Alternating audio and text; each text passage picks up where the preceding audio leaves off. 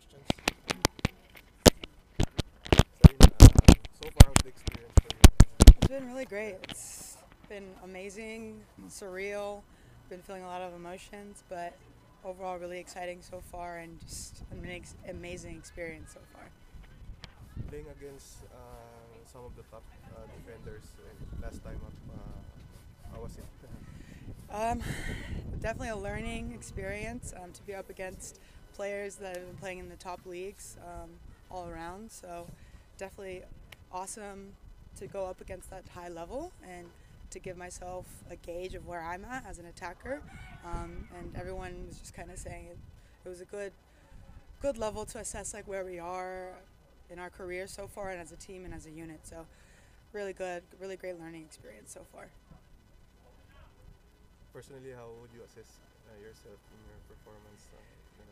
So far, I mean, I'm really proud of the way that we played our 1st debutante match. Um, kind of like Staj was saying, um, he's very proud of us, and I'm very proud of the showing that we were able to put out there to the world, to the Philippines. Um, so very proud and just a good showing, but obviously, you know, we didn't get the result that we wanted. So moving forward, we want more. We're hungry for our first win, and hopefully, it could be against New Zealand. Sarina, you played New Zealand in last year. Will that will that have an effect on how you approach this game?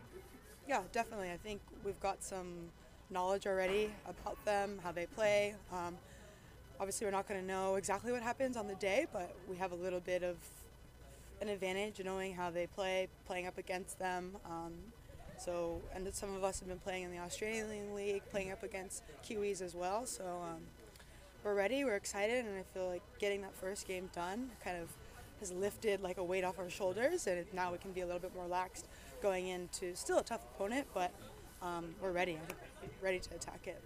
Um, you're coming off a historic win. Um, will that have an effect also on, on the game?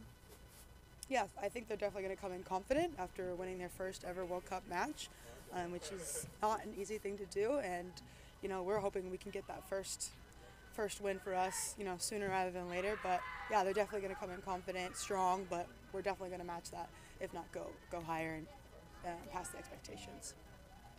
So, Sarina, you mentioned about uh, the emotions of playing the first game, historic one for the country. So, could you please elaborate? Uh, how was the feeling like? Uh, you know, going to the pitch, uh, singing the national anthem for the first time in a World Cup stage. Uh, how was Yeah, How's I mean, like I said, it was surreal that that was actually happening. You know, as a kid, I dreamed of going to the World Cup and kind of set goals for myself, and for it to actually be a reality was just I'm speechless. I can't really put it into words how that felt, but um, I think even leading up before we actually stepped in and played the first match the day before, I had that moment of like, oh my gosh, it's real. And we're getting used to the familiarization, going to the field, filling things out, you know, feeling the t- touching the grass, feeling it, walking around. Like that's when it really hit me. And then fast forward to the match, um, you know, singing that national anthem with everyone and seeing the people in the in the stands, family, friends. It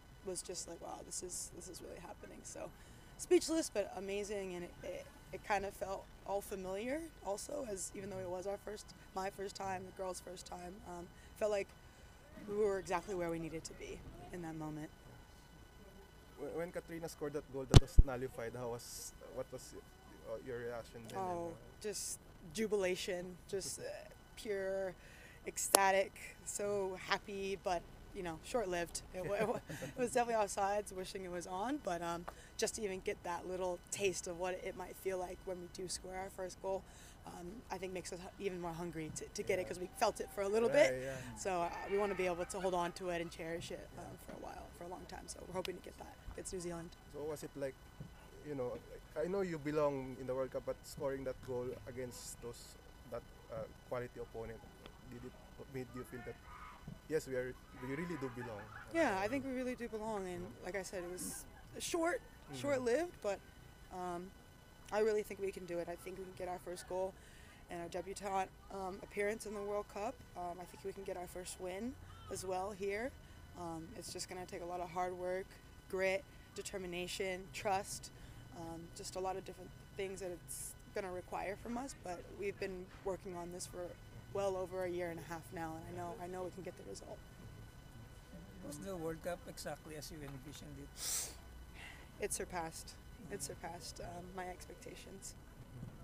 And how different are you before uh, before you played that first game and now? Still learning, still growing. I think I have more information than I did coming into it, even after that first game. Um, just learning from you know, Bachmann, Wälti, um, just Gocevic, watching them play, and you know, just seeing the confidence and the relaxation out there. Just even learning as I was playing against them.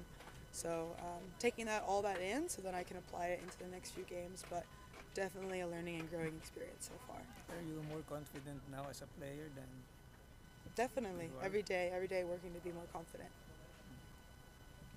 Uh, Sarina, um, before you played before partisan crowds, especially the SEA Games, um, on Tuesday you'll play for many New Zealand fans. Um, will that be different or will this is, will be the same?